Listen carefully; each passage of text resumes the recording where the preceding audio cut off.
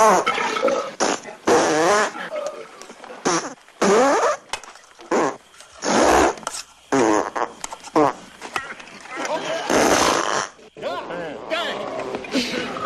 about some more beans, Mr. Taggart? I'd say you've had enough.